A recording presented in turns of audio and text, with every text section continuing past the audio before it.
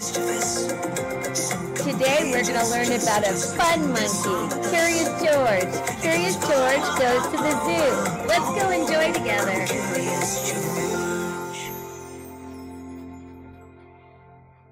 Margret and H.A. Rey's Curious George Goes to the Zoo. This is George. George is a good little monkey and always very curious.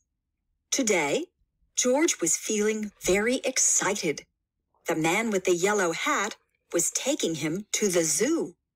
As they drove, the man explained to George that this wasn't just any zoo that they were going to visit. It's called the Wild Animal Park. The man said.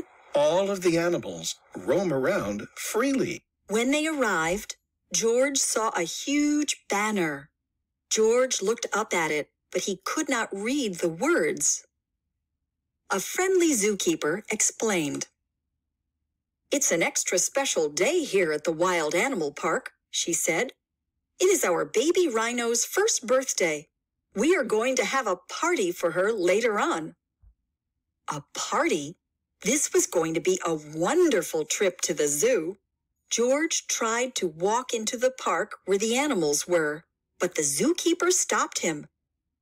You can't walk in there, she said. Hmm. to explore this zoo, you have to ride in one of our special cars.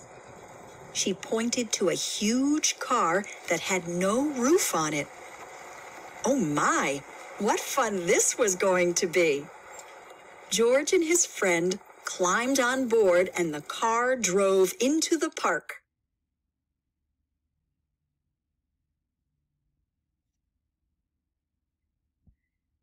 It seemed to pause. Hold on, let's see what happened. I'll read it then. Soon they were in the midst of the wild animal park. Look over there, said the zookeeper. There's our pride of lions. We have a large family here. George pointed in the other direction. Yes, George, said the zookeeper. I see the giraffes too. Their tall necks help them eat leaves from the treetops. And there are two ostriches running this way. Do you see them? One, two. George was happy to be seeing so many amazing animals. What other animals do you see at this zoo? I see the giraffes. What are these animals with the stripes? Do you know? That's right, zebras. And there's the ostriches running. What about these two animals? One of them has big tusks. That's right, they're two elephants. How about this pride of animals up here on the hill? You got it, lions. There's one, two, three, four, five lions in that pride. Let's turn to the next page. The zoo car drove past a small pond. Pink flamingos waded in the water. Their heads bobbed up and down as they walked on spindly legs. The flamingos turn pink because they eat so many tiny pink shrimp, said the zookeeper. But George was not listening. Uh-oh, George. Seek first to understand, then to be understood. Be a leader, George. Do you see the flamingos? How many are there? One, two, three, four, five, six. That's right, six flamingos. He had never seen flamingos before. He was curious about how those flamingos were moving. I wonder, there's the word curious. Do you think that's why they call him Curious George? Maybe. He leaned out the back of the zoo car as far as he could to take a look. But then, oh, what happened? What do you think's going to happen when he leans out? Make a prediction. Remember, a prediction is just a guess based on what you know. So based on what you know that's happening in this story, what do you think is going to happen to George? When he leans out of the back of the zoo car. I think you're right. He might fall out. Let's see if it's true. We were right. First, George lost his balance. Then he fell, kerplunk, right out of the zoo car. His friend hadn't noticed that he had fallen. George ran as quickly as a little monkey could towards the pond.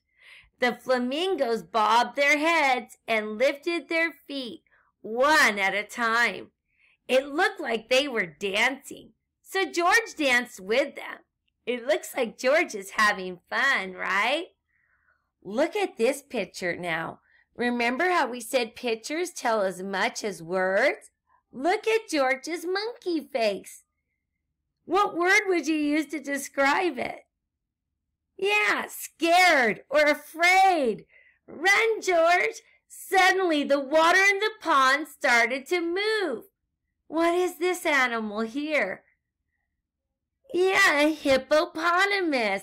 Then a hippo popped its head out from under the water. What a surprise! George stopped dancing to take a look. The hippo opened its huge mouth as if it were yawning. George opened his mouth wide too. It was fun to act like a hippo. You better be scared, George. Hippos have big teeth, right? Let's turn the page. What other animals might George see? Let's think about what animals he's already seen. I remember he saw giraffes and he saw elephants and ostriches running and zebras and lions and now flamingos and a hippo. What animal might he see next? What other animals are there at the zoo? Hmm. Did you guess that one? What animal is that? Rhino. That's right, it's a rhino. Just then, George noticed that something was rustling in the reeds near the pond. George was curious. He wanted to see what was there. In an instant, he jumped over to the reeds. He poked his head inside and saw a baby rhino. Oh, isn't it cute? How does George's face look now? If I was to give one word, I would say happy. The tiny rhino was cute, but she looked a little bit sad and a little bit lonely. Lonely, that was the word I chose for my monkey, remember? I wonder why the rhino is lonely. Do you think maybe he's missing his mom or dad or family? Let's find out.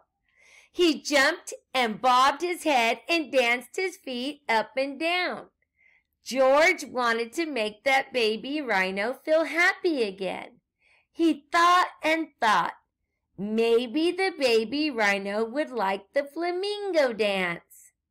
The baby rhino peeked her head out of the reeds so that she could watch. Hmm, peeked her head out of the reeds. I wonder what reeds are. Well, look at the rhino. Where did she peek her head out of? This tall green grass. Maybe reeds are tall green grass. Let's see if that makes sense. The baby rhino peeked her head out of the tall green grass. That makes sense, so that she could watch. George danced more, and the rhino walked out of the reeds. Remember? That must be the tall green grass.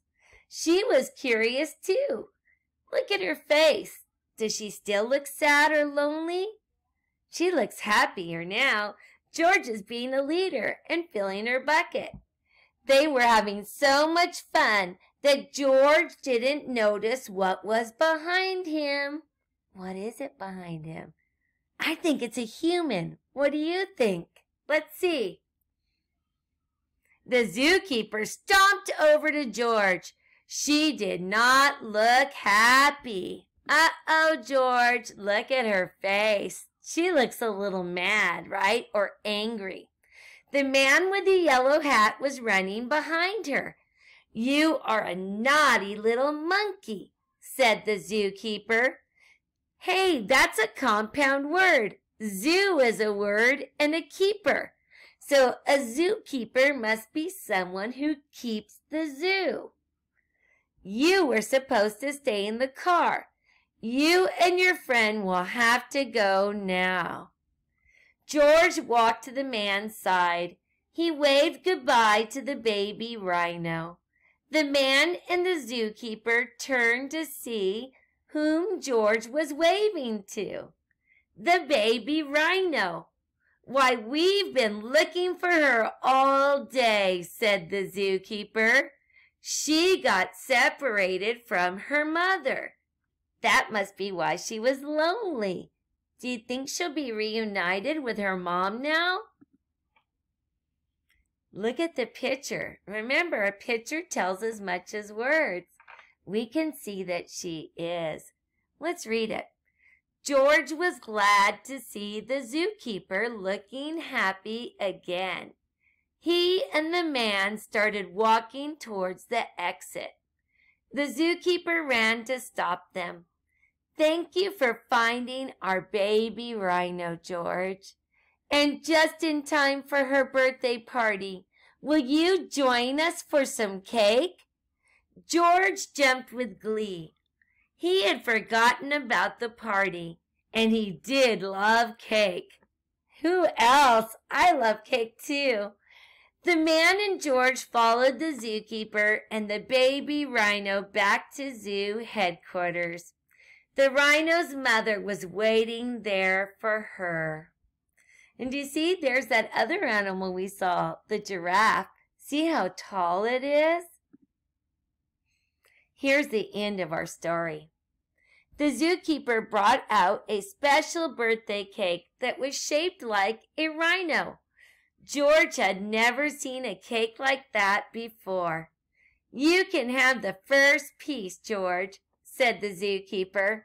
I also have a special treat just for you. She placed a bunch of bananas in front of him. George was very happy to have a tasty banana but he saved room for some cake too. Way to put first things first, George. Bananas are good, but make sure you have room for cake. So you just read a great story about Curious George. Now it's time to do your final read and respond of the year. Turn to your next open page right after our monkey that you drew yesterday. That was hard, but I'm so proud of you for doing your best. I want to see how many animals you can remember that George saw at the zoo. So we're going to say at the zoo, at, and remember a capital letter, the zoo, George, and since it's his name, make sure it has a capital letter as well. And George is spelled G E O R G E. Notice the G is the soft G both times, making the sound of J, not G. At the zoo, George saw. Now, whenever you list more than two things, you must separate it by commas. Let's see if you can do that and get ready for second grade. So at the zoo, George saw mm, comma, mm, comma, and how many you can remember. Mm, comma, mm, comma, mm, comma. Let me see.